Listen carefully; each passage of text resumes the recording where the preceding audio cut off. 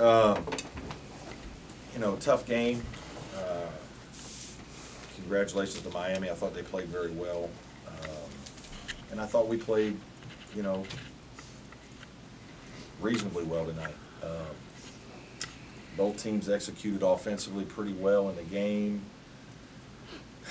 Defensively, I- you know, I just didn't think we, we did enough good things to get enough stops to win. Um, They were probably just a little too comfortable throughout.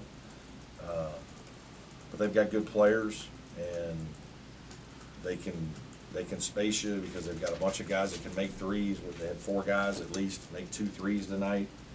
Um, You know, they don't turn the ball over much. They're, they're experienced guards, so it's hard to speed them up. It's hard to get them out, you know, out of control. They don't have many bad possessions. Um, And, you know, the, I thought our team played pretty well. We had a few turnovers in the first half, uh, but second half, we only had two turnovers. I mean, we almost, you know, we shoot 48 percent. We have seventeen assists. We make 10 threes.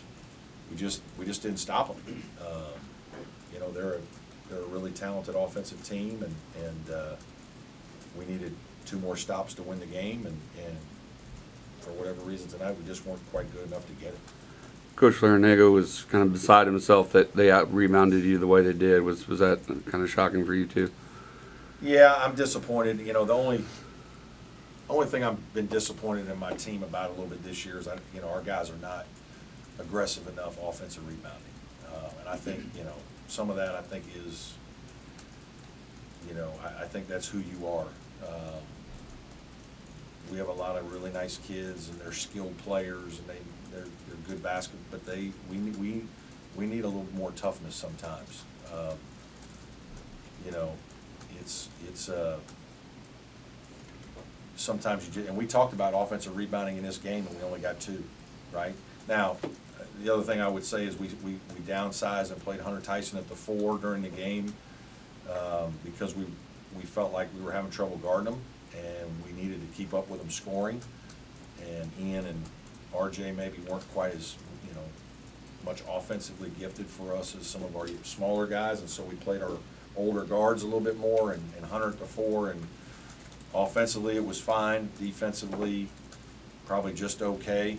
Um, But we're not, you know, we don't have another guy down around the basket area as much in those scenarios. We're more four out around PJ, and so there probably aren't gonna be as many natural offensive rebounds. Um, But, yeah, that's, you know, Omier for them is, I mean, he's a terrific rebounder now. He's one of the best in the league. And he got four today, and obviously the one at the end of the game when we needed to stop was a big one.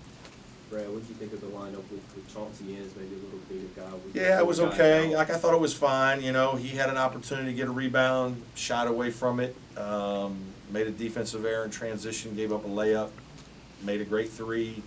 Um, you know, I'll, I'll go back and watch a little bit more. I think he's going to be a really good player for us. Um, you know, he's, you know, maybe I should have played him a little bit more in the second half to see, but uh, I kind of just went with older guys, you know, more tonight down the stretch. What is that challenge right now? You've got Alex coming back, you've got two younger guys. and Yeah, it's been, it's been a little hard, like, I- you know, we, we've, we gotta figure, we, you know, it's, the good news is we're back whole for the most part. I mean, we're not, you know, just, these guys that have been hurt, now they're still, it's not like everything just goes away, right? I mean, Chase's ankle's still sore and PJ's knee still bothers him some and, you know, all the things that you're dealing with. Um, But having said that, like, we need a break for a little bit, we need a week to, you know, hopefully get a little more healthy, rest a little bit, and then just get back in the gym as a full unit. We haven't, we haven't had many days other than the last two to kind of get whole. And, uh, we actually made a couple mistakes on some, some things we were running, um, you know, a couple times tonight where some of it might be lack of reps for guys through practice. Uh, And we had a couple of offensive errors in just alignment and uh, execution of a couple actions that, you know, we usually don't, our older guys make better plays and better decisions. Like Alex had one late that was really costly where I, I thought he missed PJ wide open in the middle of the lane under the basket didn't throw it to him, you know, and it's, you know, but the guy hasn't played very much, so he knew he missed it as soon as he threw it to the next guy. But, so there was a couple of those, uh, just from not playing as much.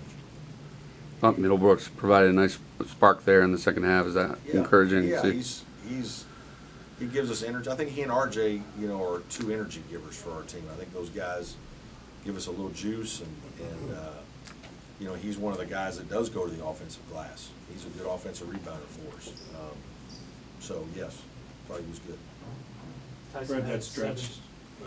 Tyson had seven shots, were they denying?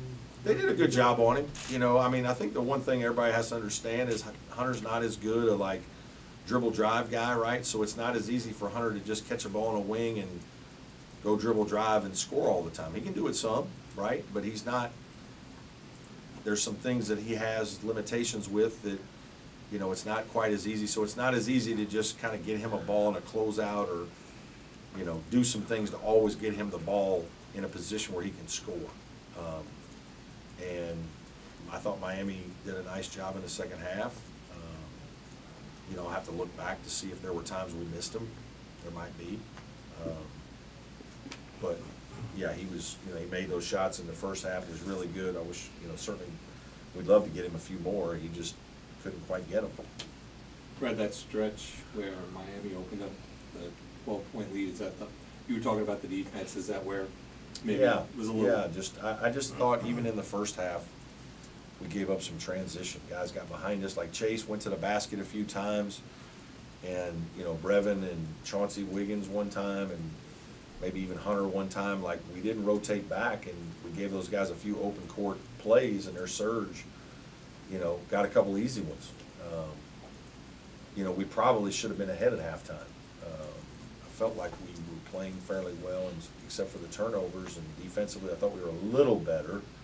Um, And then in the second half, I just thought they got comfortable, and, you know, they're hard covers. Guys make shots. Like, they got a lot of guys that are shot makers. And uh, we did a good job on, you know, on Wong on some stuff, but then, you know, he kicks it out because you've gotta have a man and a half on him a lot of times. And Wooga Poplar makes two threes, right? I mean, you gotta give him credit. Uh, Jordan Miller makes two threes. So Harlond Beverly makes a nice three off a, in the first half, off a kind of a wraparound pass to the other side that, those are big-time shots. And uh, there are guys that, you know, maybe they're secondary guys, hit big shots and that, that can get you beat. Two straight losses when you're trying to stay on top of the league, extend your lead in the league, are you sensing any pressure with your guys living at the top of the ACC? Uh, We don't, we don't really talk about it um, a lot. I mean, we obviously mention it, but no, I, I just, we didn't, you know, we played okay today.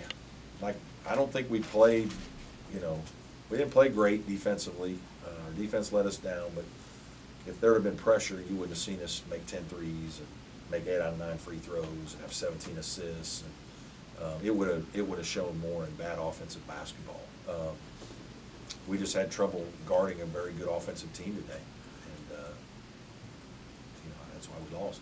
Coach as well. big is this break for you? It's good, yeah, we need it. I mean, I just, you know, I think our team's a little tired. Um, You know, we're tired physically, not just mentally. It's more, like, there's some physical fatigue from, you know, guys being, playing through some, you know, knick-knack injuries and just the Hunter Tysons of the world playing all these minutes and all these games. and um, So it'll, it'll be good for us. Hopefully we get refreshed and, and, uh, you know, clean up a couple things and get ready for the stretch run. As well as y'all have shot free throws first in the league, would you like to get to the free throw Yeah, line more than nine would, But times? we don't have as many drive guys as everybody else, you know, sometimes. We're, we're, so we gotta, we gotta punch it into PJ. We, you know, some of our guys gotta be aggressive and get in there and try to draw a few more. You know, we talked about it a little bit today that, you know, the first half, we felt like we got to the bonus pretty, pretty early, but didn't take advantage of it as much as we would've liked.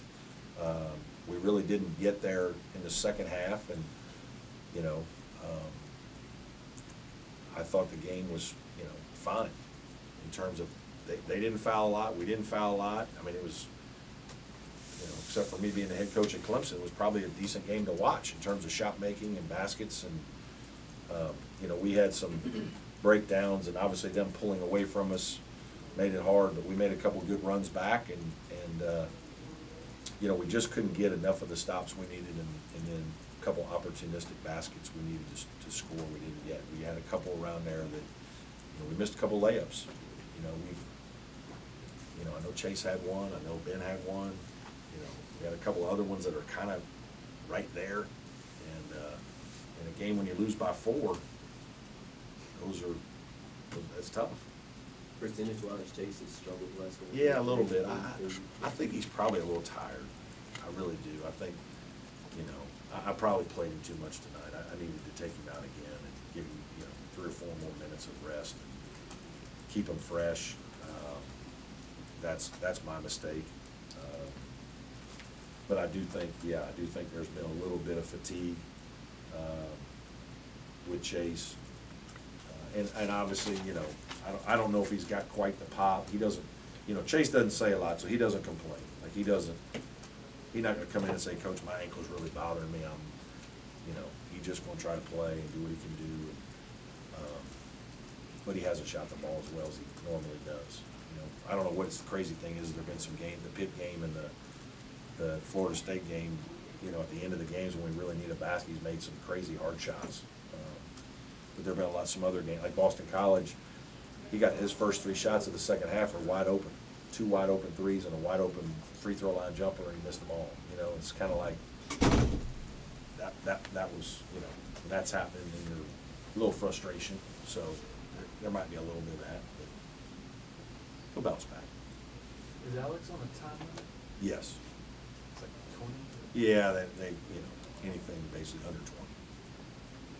Behind, behind Chase right now, is point guard, he's trying to figure out. Yeah, just different games, different, it might be Dillon, it might be Josh. It's, you know,